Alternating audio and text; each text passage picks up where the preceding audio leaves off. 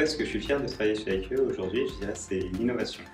J'ai la chance de travailler euh, dans l'équipe euh, Data IA et Real World Solutions, qui sont en fait des équipes à taille humaine, et euh, ça nous donne l'opportunité de travailler sur des sujets un peu plus innovants.